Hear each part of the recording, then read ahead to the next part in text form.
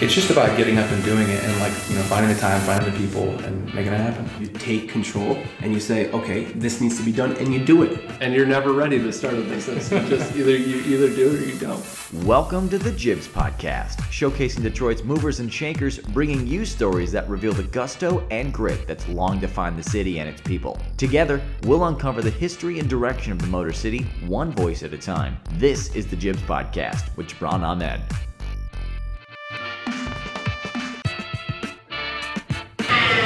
Welcome to episode 9 of the Jibs podcast. Today I am here with Lisa Ludwinski, founder of Sister Pie.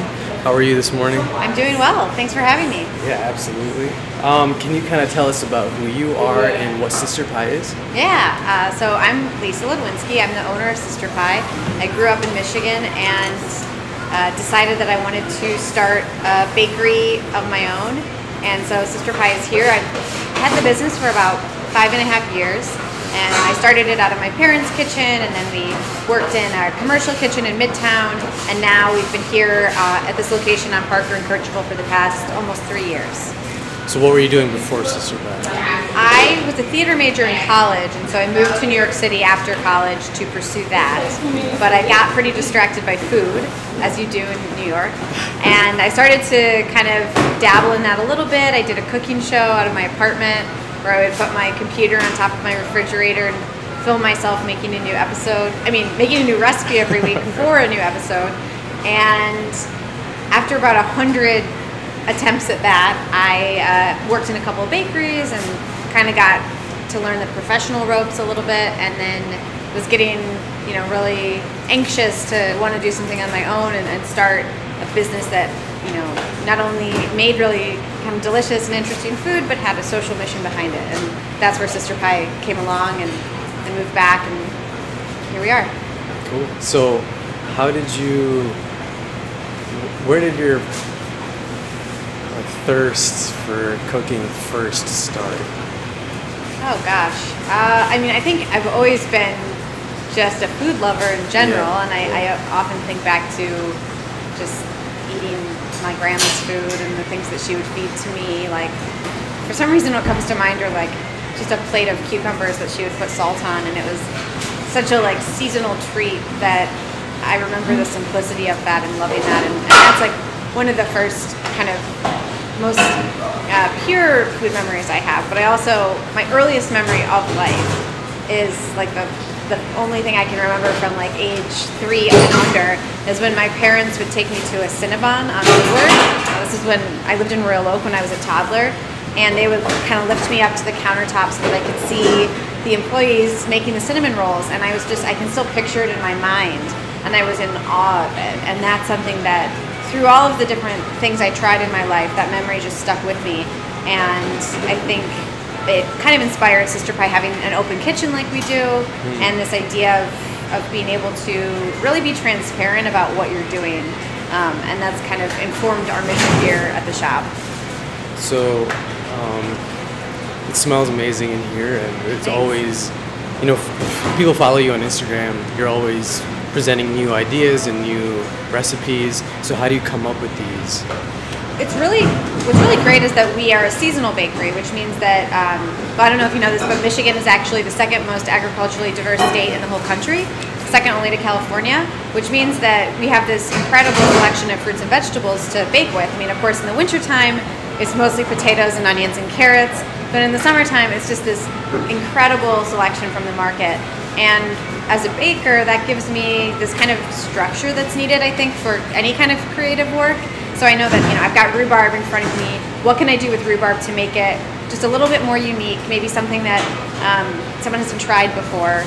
And so you take it and you turn it into a rhubarb rosemary streusel pie.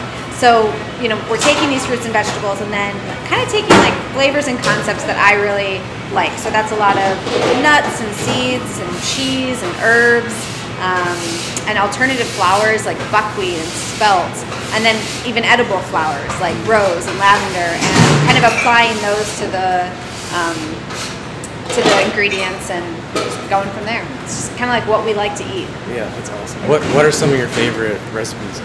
Well, one of the most like kind of simple recipes we do is a pie called the cranberry crumble. It's one of the very first pies that I developed for Sister Pie, and it's pure Michigan cranberries. So half of the cranberries go into the pie whole, and then half of them have been cooked down into a compote that's mixed with a little light brown sugar and orange zest. And then uh, the, the filling get, goes into our all butter crust, which is you know just really flaky and made with delicious European style butter. And then we put a, an oat crumble on top, and it's just to me it's like ultimate pie. You know, it's got this really tart fruit where you can really taste the flavor of the fruit, and then this just warm crumble on top with a little bit of whipped cream. It's there's nothing better. But then I also really enjoy. Um, we do something called cardamom tahini squash, so it's a little bit more out there for people. It's um, we make our own squash puree, and then at the bottom of the pie there's a tahini walnut paste. Um, then the, the squash filling goes on top, similar to like a pumpkin pie. Um, then it gets topped with sesame seeds, and it's it's just kind of like pumpkin pie elevated. Oh, it sounds so good. It's really good. Yeah. So, uh, I mean, going back to starting this business, uh, a part of this part of this podcast is letting people know, um, you know, Detroit's a place where a lot of people are starting to come. Yeah. Um, but you know, there's always been a culture here that's always existed of entrepreneurship. Yeah. Um, there really isn't so much a rebirth of the city as much as you know more attention just coming to the city.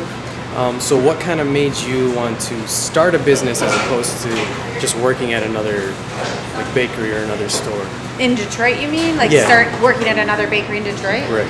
Well, I think what what triggered me to, to do this more than anything was being in a bakery in New York and thinking, I have a lot of ideas. I want to do this. I've kind of always had like a naturally bossy personality, and I when I was in theater, I wanted to be a director. So I, I kind of had like a vision, and I wanted to be able to bring the vision together. And so that's sort of where I was going, and I had realized that you know my other main passion for life was was being able to just make something and give it to someone. At the same time, I was feeling a, a, a strong pull back to Michigan. You know, I grew up here, my family is here, and I also knew that to start a business here, there would be a lot of support. Not only support from my family and friends, but Detroit was offering, and I was hearing about all of these entrepreneurial kind of programs and um, opportunities, and that was really appealing to me. Um, and I love the city of Detroit, and so it all just kind of worked together when I was kind of piecing together what I thought the next steps in my life would be. Yeah.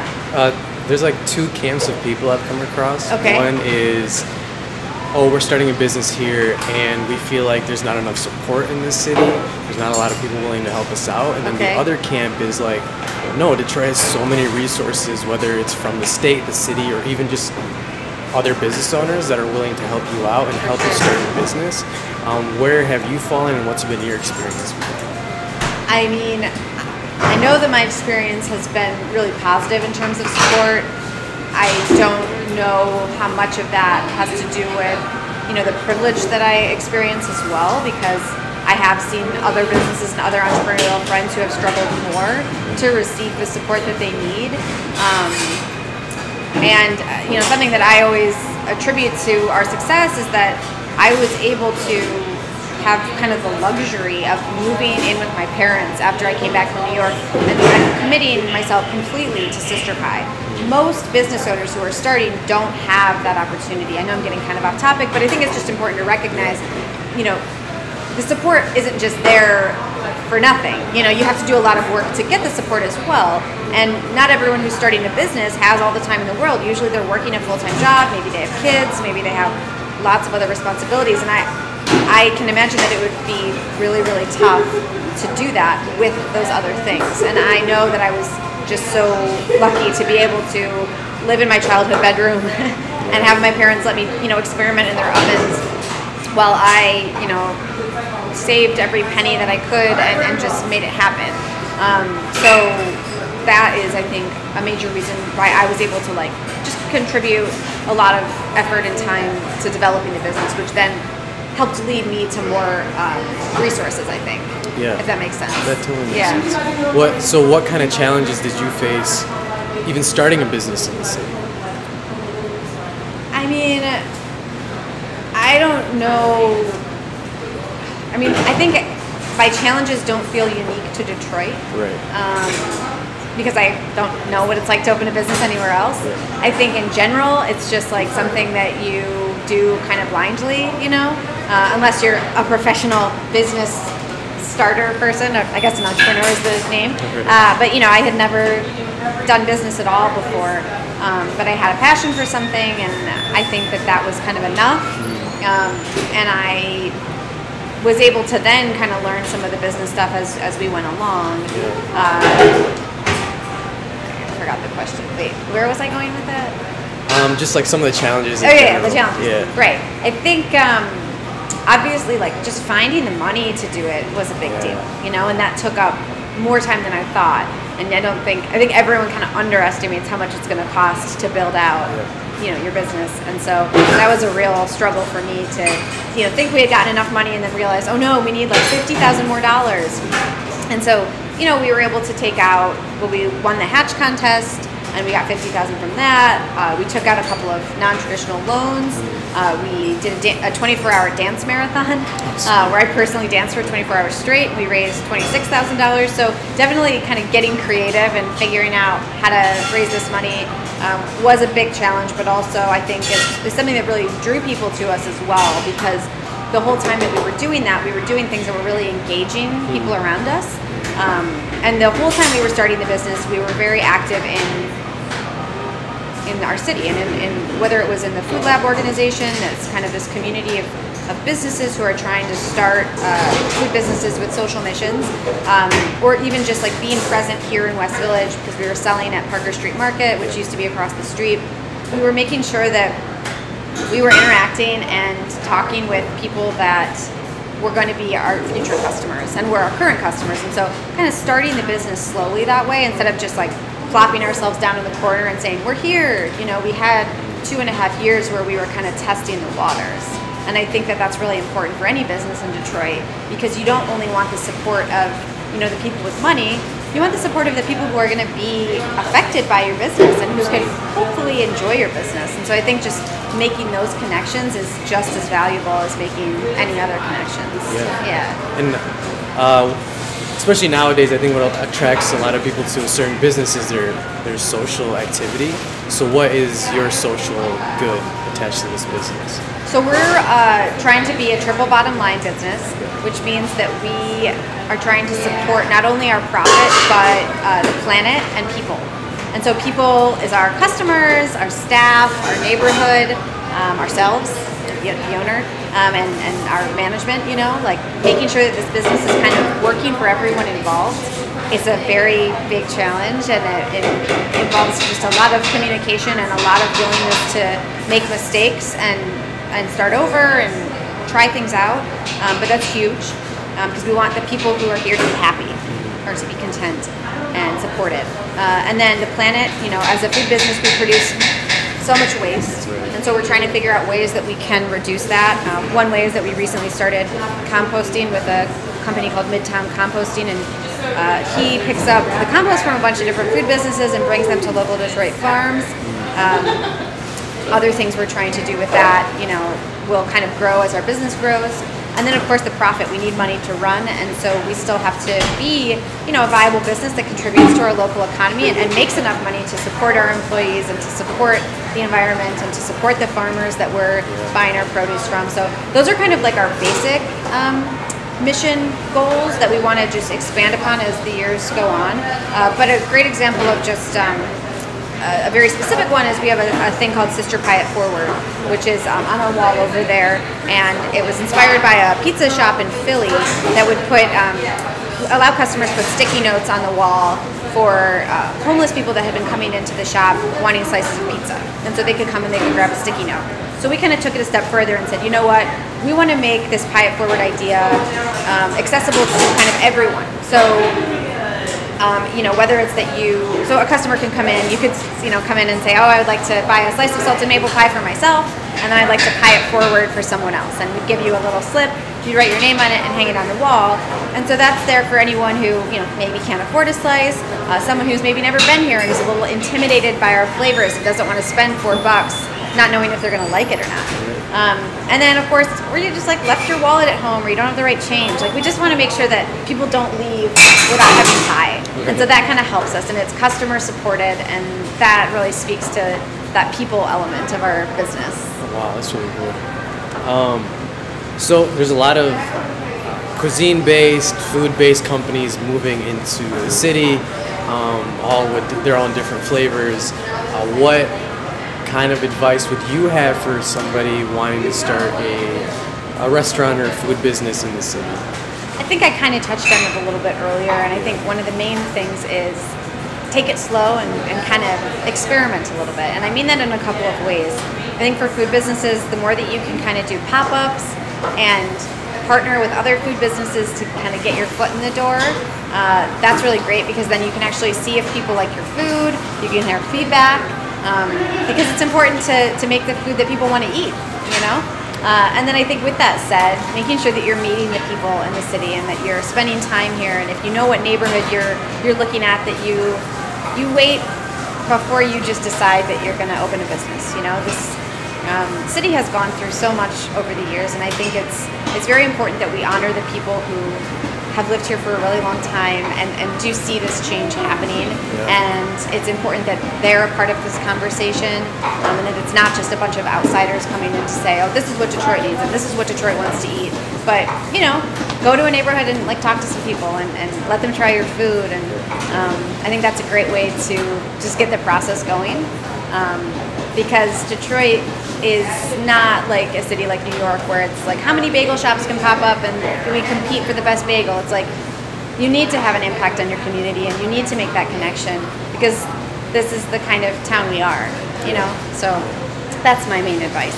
But also, yeah, look into the different opportunities that are offered here, whether it's business classes or money, um, you know, funding programs. Like there's just so much out there and it's good to kind of get an idea of what all that stuff is before um, you go in. And I think a, a, big recommendation would be to join Food Lab because they have just a wealth of resources on, on all that stuff. Right, right. Yeah. Uh, what are your some some of your favorite places around here?